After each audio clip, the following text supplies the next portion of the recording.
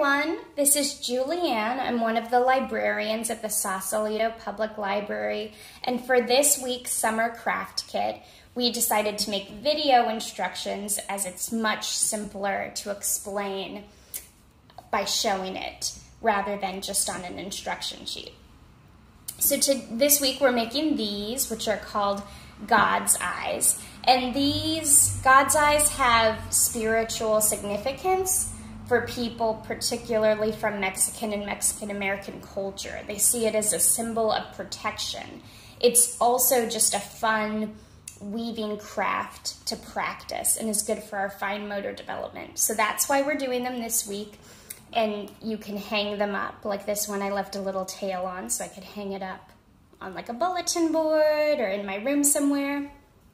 So, in your bag, you'll have two sticks that have been hot glued together in the center. So they're pretty tightly put together. And then you'll also have some yarn. Now the yarn is variegated, which means it's one continuous piece of yarn, but it has different colors throughout. So your yarn is nicely wrapped up in a ball, but I've already unwrapped my yarn. But your yarn should have two colors on the end. Most of the pieces of yarn have three colors, a beginning, a middle, and an end color. So I can choose if I want to start with pink or if I want to start with the purple shade, which is at the end of my yarn. You'll also need a pair of scissors, which we assumed that you have at home. Okay, so to start, we're going to take our yarn and we're going to want to make an X in the center of our sticks. And we'll want to keep our sticks like a T for this part. So, since I'm going to start with the pink end, I'm going to first go like this. And there's this little tail on the back, the other end of our yarn.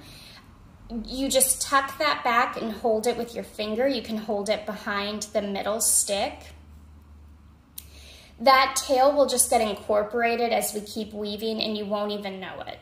So for the ones that I've completed, you can't even tell where that tail is, that's the back of it, um, because it just gets incorporated. So just hold it there, and then you'll wanna go three times around this way to begin our X. So one, two, three.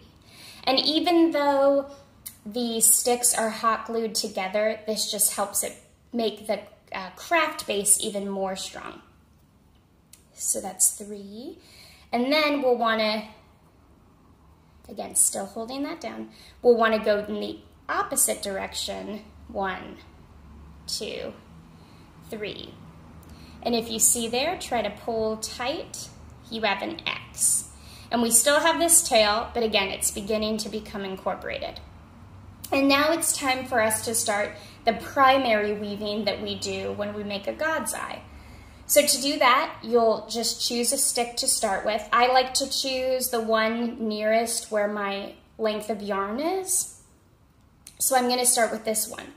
I'll wrap it around this stick once and try to pull it tight and so that the yarn is close to the bit of yarn that's already there. So wrap it around once and then go over to the stick next to it and wrap around once. And then over to the next stick, wrap around once. Over to the next stick, wrap around once. Over to the next stick, wrap around once.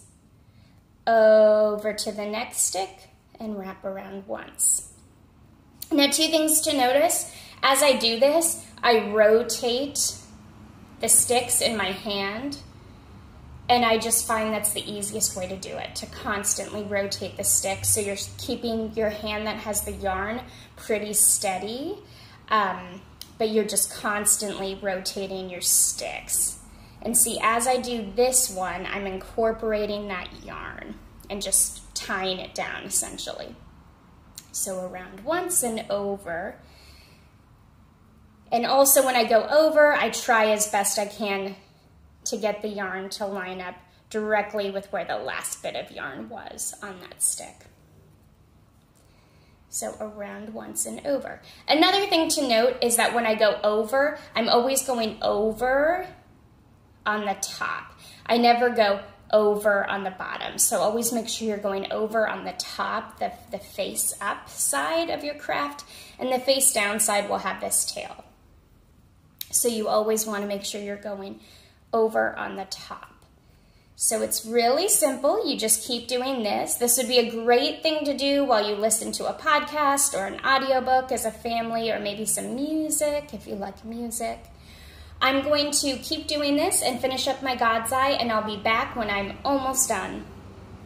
Welcome back. So I was nearly done with mine and I actually liked the look of it as just pink and yellow, even though I didn't get to the purple. So I went ahead and trimmed my yarn off. Um, I might actually trim that a little bit more because this end's a bit fuzzy. Um, so I trimmed my yarn off to show you how to um, end it, and I'll show you how to end it now. If you want, you can just keep tying it till you're basically done. You want to leave about that much space, though, to tie it off when you're actually done. So, what I can do, and I actually like the look of the ends of the sticks, but some people like their God's Eye to have more yarn. So you can just keep going if you want, or you can stop about here, but either way you need to leave a little bit at the end. So what we're going to do is we're going to make a knot, but we're going to make at least two knots, preferably three. The first knot is a little bit hard and you might want to get a grown-up to help you because this isn't going to be that tight. So we wrap it here. You want to make your knot tight, but it's hard to keep it tight while you're knotting it. So you will go across this stick, almost like we're still going to do the God's Eye weave. But then we're just going to make a loop and tie it around the stick. But here, when you're pulling it, you want to try to keep the yarn as tight as possible and pull down. So there you go, it's already tied. But for good measure, we should do at least another knot. This one will be easier to do because the yarn's not loose. And again, just pull it down and tight and maybe one more.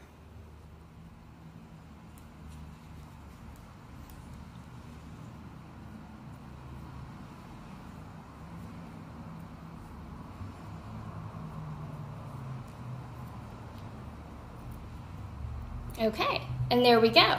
We have our God's Eye. If I wanted to hang this, I can use part of this string to hang it, but I might just want to clip it some more.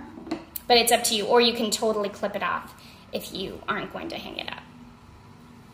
Now, one troubleshooting thing I would like to mention is that when I was making mine, I found a knot in my yarn. Here's the knot, and I couldn't get it out. I tried. So I was already weaving, so I decided to clip out the knot but then my yarn was no longer connected. So what I did was I tied two pieces of the yarn together. Um, the piece that was still connected to my craft and the rest of the yarn. Um, so I just tied two pieces together. And then these um, ends that I cut off were just the ends of the, of the yarn. So I just tied them together. And here you can see it in the back where I did that right here. There's like a little ball. But from the front, you can't see it. And an interesting thing to note is that most people who make a God's Eye buy single colored yarn and just end up tying different strands of the yarn together to make a God's Eye. So it's totally normal to have these bumps on the back of your God's Eye. And I just wanted to share that in case you run into the same problem or if you want to try to make a God's Eye with yarn you might have around your house. The nice thing is since I didn't use all my yarn, I can do it again with a friend with this yarn.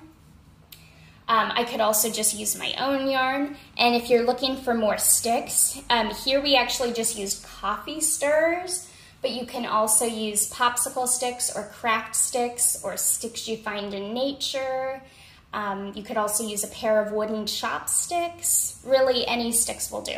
Anyway, I hope you have fun doing the craft. And remember that if you're doing the summer reading challenge, completing the craft counts towards an hour of reading. So you can either uh, put down an hour on the Beanstack website or app if you're using that, or if you're using the paper log, you can color in a square on the pier. Thank you. Hope to see you soon. Bye.